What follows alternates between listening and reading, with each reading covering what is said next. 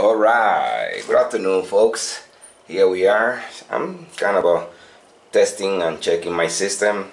It was built several weeks ago, and uh, right now uh, it's pushing in about 12 amps in my system. You can see right there. About 12 amp going into my battery pack. It's about 2 p.m. Very sunny battery are pretty much full. I think that they are about 53 close to 54 volts we can check that in a second where they are. But the issue is originally when I installed these batteries the voltage was all over. I mean during the charging process. After you know after 10 or more cycles it seems like they are getting very close to each other. So let's find out what's going on because that's very important. I'm using that guy there. Uh, probably you've seen it upside down. It's a Daly 100 amp 48 volts. It's a regular Daly. There's no USB or anything or Bluetooth or nothing. So whatever this guy is doing uh, I don't know. Maybe the Chinese people will know what who developed this unit they might know what they're doing what it's doing. Obviously we have an idea and uh, but you know we need to check. And that's what I'm been doing lately and you know testing and checking what the voltage is for each battery each individual battery. So we'll see. Let's take a deep look into that Alright, so I'm back here. I'm going to be checking the voltage. So let's see. Let's see. You see that those are millivolts are floating as, as quick as, I close the contact. Yep, zero. Now, I'm going to be measuring the total voltage on my battery system. And don't worry about the, whether it's negative or positive. Uh, let's see.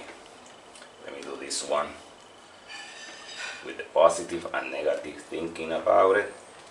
And right now it's about 54.1 and the BMS cut pretty much every day at 55.7 55.8 so that's why it's still allowing current to go in. I have a, a small solar system about 1400 watts.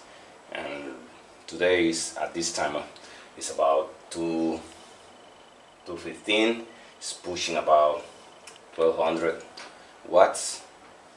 And the inverter is using uh, is powering several pieces of equipment. So the uh, the amount of current left is about 12 amps that is going into the batteries. So now let's check let's check each individual battery and let's see what's happening.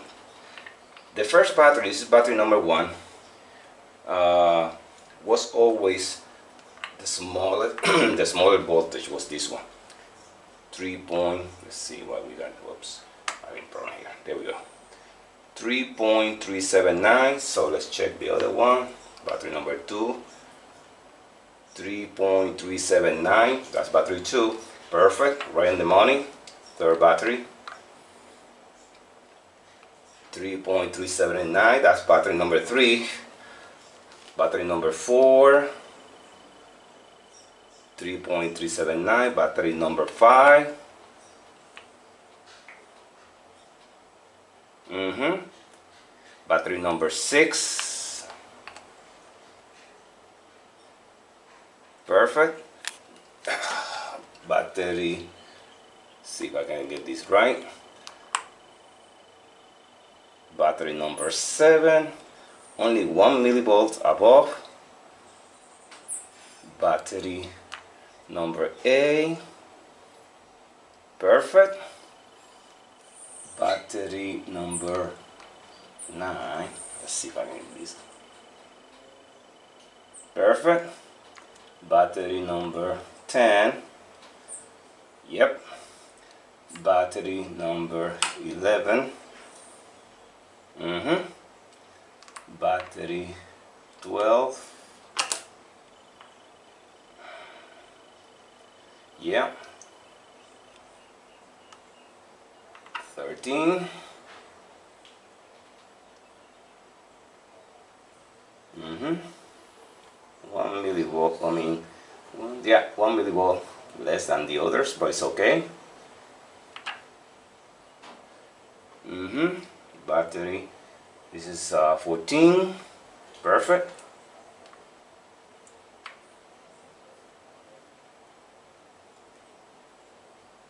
15 last one. 3.378 so wow this is perfect.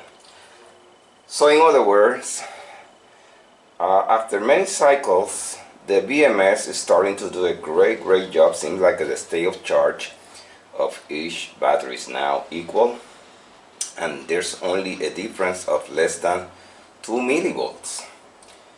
Do I need the active balancer? Uh, nope. Not in this case. All batteries are perfect. They are well aligned. Again, they started bad. I mean, the voltage was all over in one point in time. Differences of about 200 millivolts first cycle. Second cycle, I don't know. I never stopped to measure it. I let the BMS, you know, mature for a while.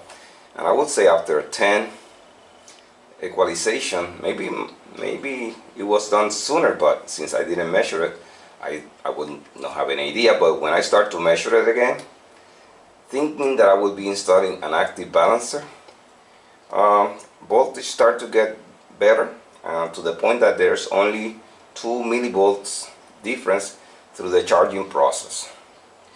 Uh, there are folks that might need the active balancer, but since I'm adding about, I would say in, in a very sunny day, I might add like about 20 amps and uh, and that's almost like one fifth of what the, this BMS will handle so meaning that the BMS is really cruising with the amount of current that is working on so you probably have enough time to equalize everything the way it should be. Uh, the discharging process has always been perfect from day one. When I, you know, after completing the first cycle, I measured the discharge process and everything was within one millivolt difference. Excellent. Was the charging process was, was a little bit off, but again, I can't complain at this point. It's more than two weeks already with this system and it's working like a charm. Every day pro providing renewable energy the way it was designed to be. Again, this was a quick update.